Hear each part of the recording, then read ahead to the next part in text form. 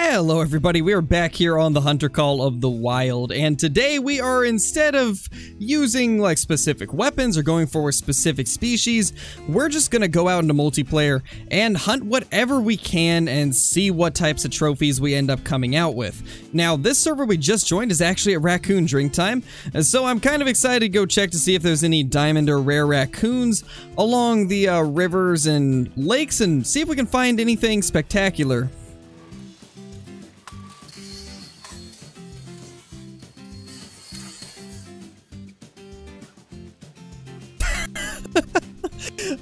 My gosh. Oh yeah, I was not planning on that. Oh my gosh, I don't even know what just happened. I just like launched my dog. Oh my gosh, you, you poor thing, Hunter. What did you ever do to deserve that? Um, I, I don't know uh, how much of that you guys will actually get to see because my mic started bugging out very heavily after that happened and I had to reset it, but uh, yeah, we are good now. Hopefully it wasn't like that for the first part of the video, but I mean, uh, it's kind of hard to say. I didn't find anything good on the first server, so we did move on to another one. Hopefully we can end up finding a few trophies. We're just going to head west like we have been and hopefully come across a few good tracks of some things that we can track down.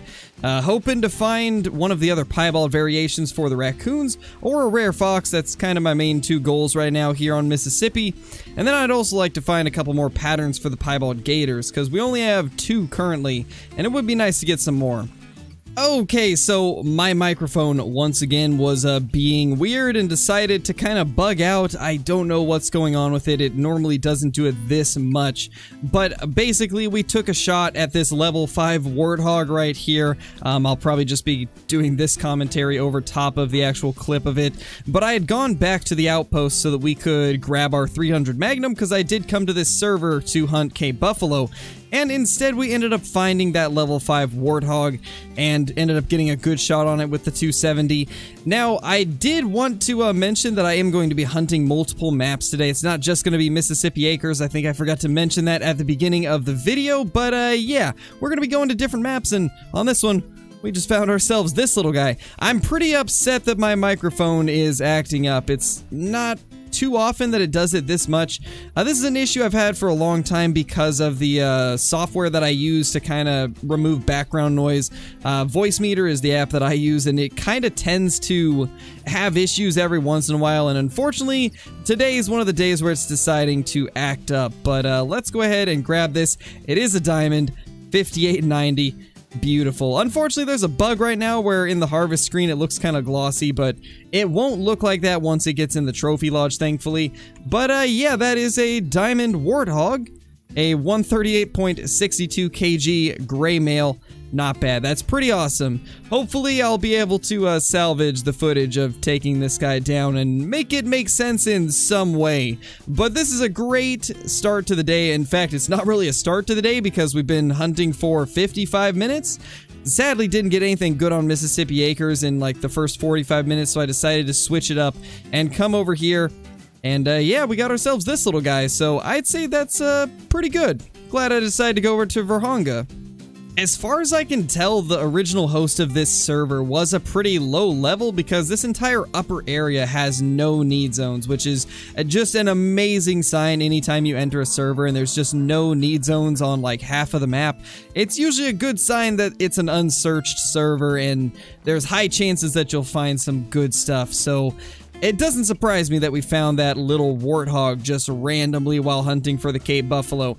I hope there's going to be some more things like that on this map. We're probably going to stick around on this server for a little while and hopefully find something else cool. Hopefully a kudu, because I would like to get another Diamond Truex kudu. Because I have seen that there is another horn shape and it looks even better than the diamond one that I got, so that's something that I'm going to be trying to get. Oh my gosh, are you kidding me? Oh my gosh, are you kidding me? Alright, so when I said that I was hoping there'd be some more good stuff on this server, I didn't expect to find that. That's amazing. I hope that's leucistic. I don't have a leucistic. I killed one a long, long time ago. Back before there was trophy lodges, but had never found one since. I, I really hope that's what this is. It's probably albino, but I really hope it's leucistic. Oh my gosh, this hunt has just gone from being 45 minutes of nothing on Mississippi Acres to two back-to-back -back amazing trophies here on Vurhonga Savannah. Now we just got to get this thing down. I think that is leucistic. I really hope it is. I think that is, though. Okay, this is... Okay, actually, maybe... Maybe it is the uh, albino. It actually might be albino. Yeah, never mind. That is albino. It's still cool. I would have preferred leucistic, but, you know, I'll take that as well. It's still really, really cool. Uh, let's see if we can just get that in there. I think that should be a good shot. Yeah, it definitely is. That's a decent brown Cape Buffalo there, too. Unfortunately, the brown Cape Buffalo are over-spawning currently. It's a known issue, and it will be fixed eventually. But I've been trying to kind of avoid shooting those because of the fact they're over-spawning, and, uh, Oh, oh gosh. Well, that's our albino. It's now down. Uh, there's also currently a bug that's causing body CO invisible, which I believe that is also going to be fixed very, very soon. They recently put out something saying that they know about the issue. I believe it's in their known issues list on their Discord, so if you guys are curious what stuff they know about, that known issues list is a great place to go, but uh, that's one of the bugs they are currently working on fixing. And uh, yeah, it's a strange one. I honestly can't believe we found one of these. It's been so long since I've seen a rare Cape Buffalo. That's just so cool. That is just so incredibly cool to find. So let's go ahead and get a quick picture of it next to our dog. And uh, I think after that we will go ahead and pick it up. So uh, let's go ahead and see what this guy scores. It is a 124.20. That is super awesome. Super, super awesome for sure. Let's go ahead and tax that. That's a beautiful albino Cape Buffalo. I really wish it was leucistic, but I will take it. That is still super awesome. And uh, looks like we made almost the heart shot I was after, but didn't quite get it. Aimed slightly too high. That was a 169 meter shot. Not bad. I'm really happy with that. This has been 100% worth coming over to Vurhonga instead of sticking to uh, Mississippi Acres today. I'm really happy with this.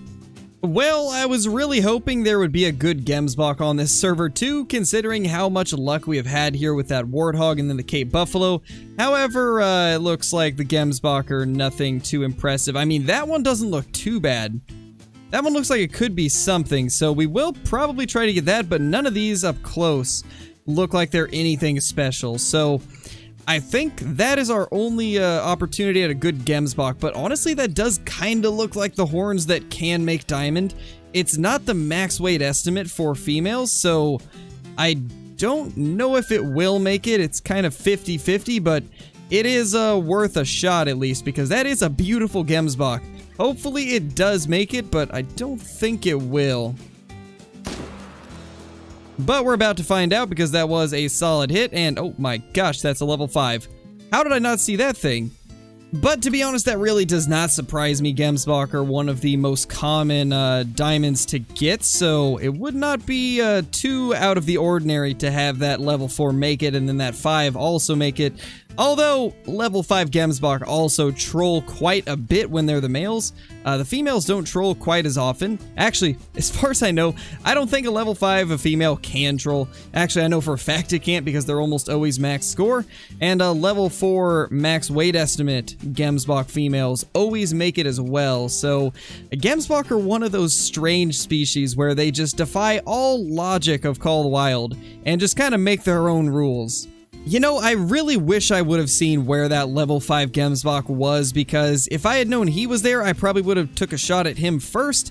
Considering I've only got one diamond male and I've had like 5 or 6 trolls of them, it would be nice if we could get ourselves another diamond. I don't think that guy would have made it. It didn't look like his horns were big enough, but we're still going to chase him down and try to get him on the ground, even though he has a very slim chance of making it. However, this female has uh, maybe a decent chance. Now that I look at it up close, I don't know if this is the big horns or the small.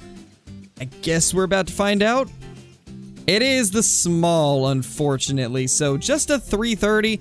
It's not as good as I thought it was, so that's a little bit unfortunate, but we still have that level 5 male to chase down. Man, this hunt has gone from being so boring when we were hunting on Mississippi to just action-packed here on Vurhonga Savanna. Well, I had to reset the time. I did end up getting host of this server, so I was able to go back and reset the time, but I don't see our guy. I haven't been able to find any Gemsbok that look even remotely like him. And uh, yeah, no level 5s, but he was kind of like farther up here. Maybe I just don't have him rendered in yet, and I guess as we get closer, we'll find out if he is back at his spot. If not, we might have to wait a little while, and who knows how long that's going to take for him to get back to his zone. And I don't know if I want to wait that long for what is most likely a troll level 5, considering they almost always troll. But I suppose we'll wait a little while and see if we can end up spotting him again. If not, we might just have to uh, call it and just leave him for somebody else to get. Alright, well, I had no luck trying to find it out in the field, so I decided to change the time to their drink time, and hopefully we'll be able to find it within the mega herd of Gemsbok that typically drinks at this lake. I know there's a, a lot of new people that are with the channel now that have just recently got the game, so I'm going to kind of show you guys where this is, because this is a very consistent hotspot on pretty much everybody's Vurhonga Savannah map. If you go to this area, anytime in their drink time, which I believe is like 5.30 to 8 or 4.30 to 8 or something like that. But if you go to this lake around that time, you will find so many Gemsbok around this area. It's honestly quite incredible, and we're about to take a look at them. And uh, speaking of the five, there he is. But as you guys can see, there is just Gemsbok all over. And on some servers, you will find up to 100 Gemsbok or so just drinking at this lake. And uh, as we scan over to the left, there is some more there. Uh, they can even be over here sometimes. Uh, just figured I would show that to you guys since it is a great spot to uh, make money and also just to find yourselves some diamonds if you're brand new to the game and are looking for a place to do so. But uh, let's try to take that guy down. Uh, he's going attentive. That's not good. That means there might be a lion near.